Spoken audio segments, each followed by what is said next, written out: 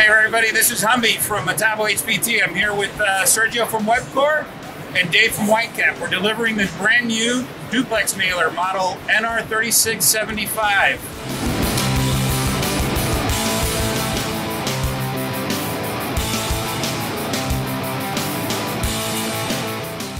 So what we have here is the Metabo new double head nailer. Been anticipated its arrival for about a year. We're to demo it for you, see how you like it.